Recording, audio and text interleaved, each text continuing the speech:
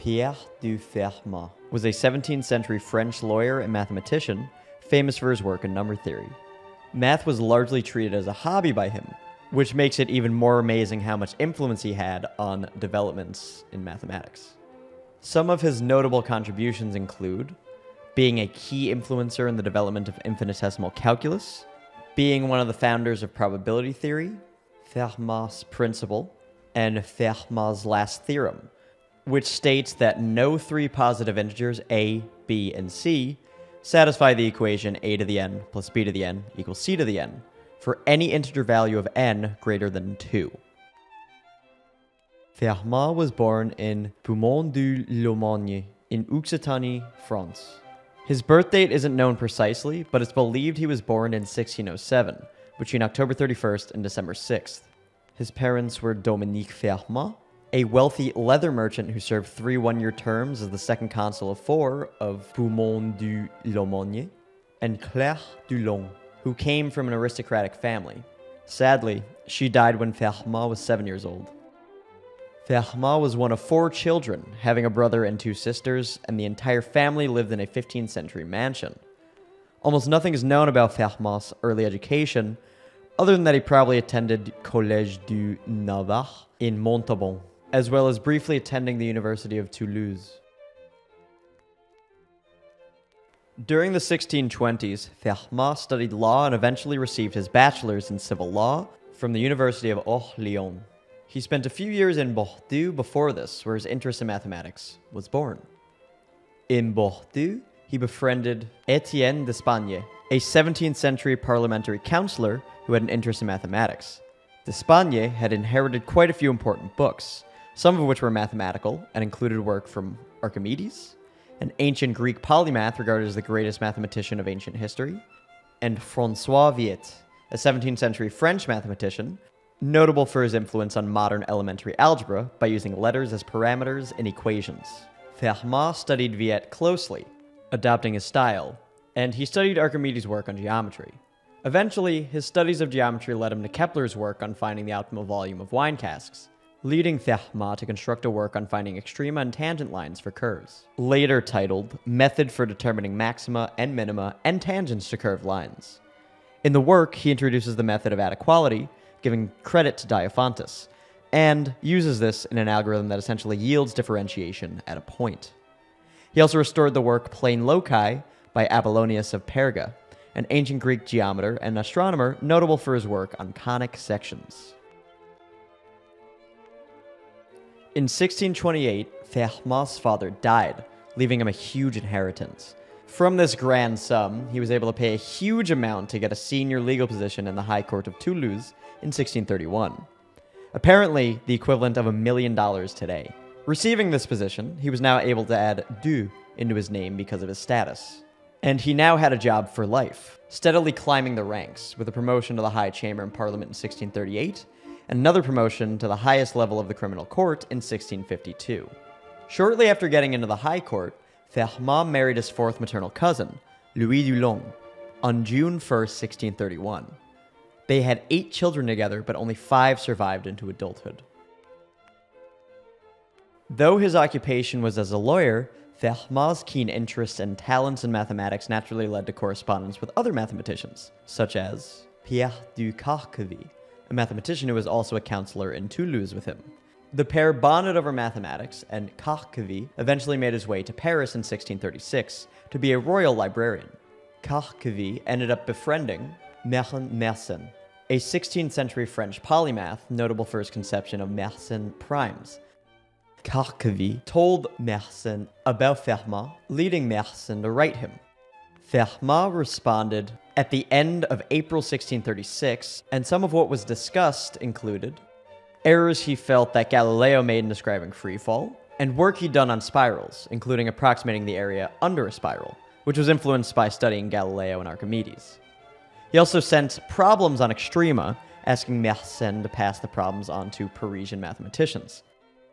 Fermat also sent these problems to Gilles de Roberval, a 17th century French mathematician who had been working independently on finding tangent lines. He found the problems to be extremely difficult and asked Fermat to send him the methods that would help solve such problems.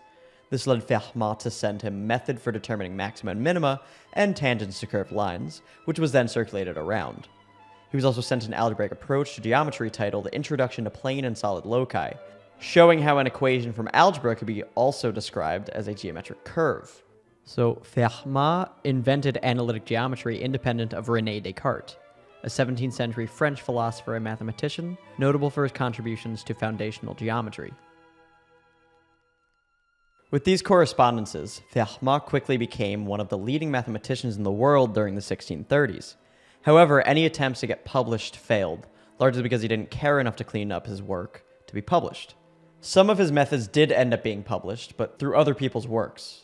For instance, Pierre Hérigone, a 17th century French mathematician and astronomer who taught in Paris, published a work titled Cursus Mathematicus, which contained Fermat's methods on finding extrema.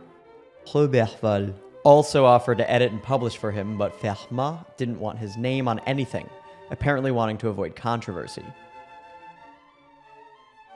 While some mathematicians enjoyed the problems Fermat sent, others reacted poorly.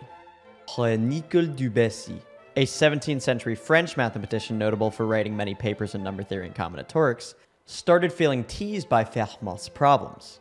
He felt they were impossible and wrote angry letters. Fermat also ran into problems with Descartes. While in Bordeaux, Fermat had befriended a mathematician named Jean Bouguereau, a 17th century French mathematician who published works on geostatics and coined the term cycloid. The two kept up correspondence well after Fermat left Bordeaux, at some point sending Fermat Le Dioptrique, an essay by Descartes that used various models to try and understand properties of light, introducing the law of refraction. Fermat was busy with other exchanges and basically ignored the work until Mersenne asked him his opinion on it, to which Fermat described it as groping about in the shadows, and saying that the law of refraction had not been properly deduced. This comment got back to Descartes, and needless to say, it didn't please him in the slightest. Descartes also felt that Fermat's work on extrema undermined La Géométrie, published by Descartes in 1637, a year after Fermat's work began circulating. This ultimately led Descartes to attack Fermat's work. To Fermat, Descartes gave high praise to work he'd done on determining tangents to a cycloid, but then Descartes said quite the opposite in a letter to Mersenne, going as far as saying Fermat was a mediocre mathematician. Descartes was a big name in the mathematical game, whereas Fermat was essentially just some lawyer.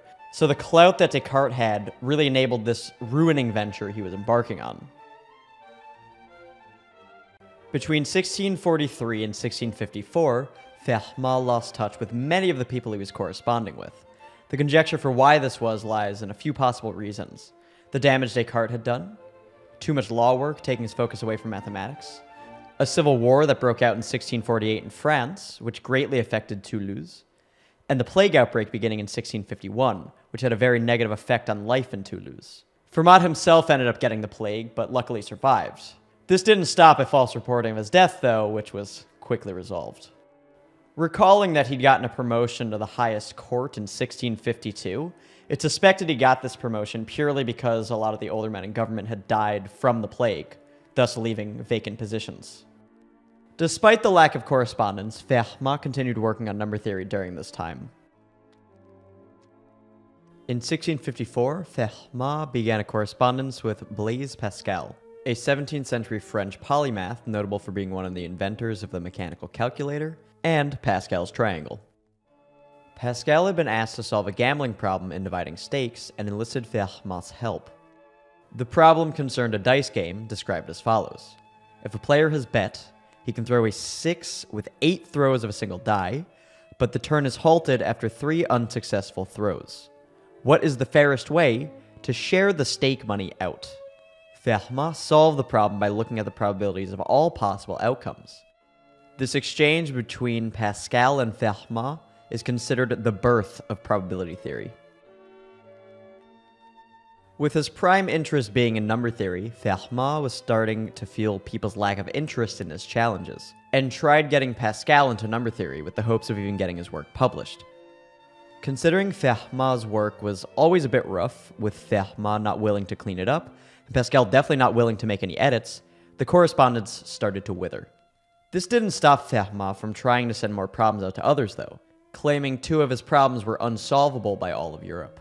One of these problems, now known as the Pell-Fermat equation, was to find all integer solutions to the equation nx squared plus 1 equal to y squared, where n is a positive non-square integer. The problem wasn't solved until quite a few years later, solved by William Brouncker, a 17th century Irish mathematician who founded the Royal Society of London, and John Wallis, a 17th century English mathematician notable for discovering methods to evaluate integrals as well as coining the symbol for infinity. The solution used continued fractions and formally kicked off continued fractions as a mathematical field. In 1656, Fermat began a correspondence with Christian Huygens, a 17th century Dutch mathematician and scientist, notable for inventing the pendulum clock, and is considered the founder of modern mathematical physics. Huygens initially reached out to Fermat wanting to discuss probability, but Fermat quickly pivoted the conversation towards number theory. Though Huygens wasn't very interested, Fermat ended up sending a work revealing a large amount of his methods, more so than he had done in other correspondences. The work was titled New Account of Discoveries in the Science of Numbers. He sent this work in 1659, also sending to his old friend Carcavi. In the work, he introduced the method of infinite descent, giving an example, proving it by contradiction, of how one could prove the following conjecture. Every prime number of the form 4k plus 1 could be written as the sum of two squares. Alas, in his proof, Fermat failed to explain a step, leading mathematicians to believe that he didn't know how to actually prove it properly. Thus, any interest was lost. In 1657, one of Descartes' students contacted Fermat as they were trying to collect Descartes' correspondences for publication. Looking through his old letters, Fermat stumbled upon his judgments on the law of refraction that he'd made about 20 years earlier. Though Fermat wasn't very interested in physical applications, he decided to revisit the problem, now deducing the law himself with an assumption he felt was proper. Nature always acts by the shortest course, meaning that light passes between two points in the least possible time, which is not the same as saying light takes the shortest path between the points, as light changes direction when it refracts. This was coined the principle of least time, and this principle directly influenced the conception of the principle of least action, a variational principle that can be used to obtain the equations of motion for a given system. This same year, 1659, Fermat wrote a work later titled Treatise on Quadrature, where he studied area under the curve and derived the general power rule for integration while studying y equals x to the n over m. Fermat sliced the area under the curve into smaller and smaller rectangles as x became close to 0, using powers of some value r, where r was strictly between 0 and 1. He then summed the areas up to yield an infinite series. Using geometric series and substitution, he yielded the general formula. The notion of a limit was hinted at in the work, but of course wasn't formally defined yet. With this work and his earlier work on extrema and tangents, Sir Isaac Newton ended up being greatly influenced by Fermat in his development of infinitesimal calculus in the late 1600s. On January 12, 1665, Fermat passed away in Castres, France, and was buried in the church of Saint Dominique in Castres. The cause of death is unknown, and just a few days before his death, he was carrying out legal business in a local courthouse. For the few years leading up to his death, Fermat continued to work on number theory as he found time. And posthumously, many notes were found by Fermat's son, including in his copy of Diophantus's Arithmetica. Scribbled into the margin of the book was the conjecture that for any integer n greater than 2, the equation a to the n plus b to the n equals c to the n has no positive integer solutions. Fermat wrote further that he had a proof, but the margin was far too small for him to write it in. Apparently, Fermat had written this in 1637, but didn't seem to discuss with anyone. So even though this was not his last theorem, it became known as Fermat's last theorem. The conjecture is simple to understand, and many great mathematicians unsuccessfully tried to solve it, including Leonhard Euler, an 18th century Swiss mathematician considered to be the most prolific mathematician to ever exist, Peter Dirichlet, a 19th century German mathematician notable for his contributions to mathematical analysis and creating analytic number theory, and Carl Friedrich Gauss, a primarily 19th century German mathematician whose contributions to mathematics gained him the title the greatest mathematician since antiquity. Alas, it wasn't until the end of 1994 that the first actual proof was yielded, provided by Sir Andrew Wiles, an English mathematician at the University of Oxford who specializes in number theory.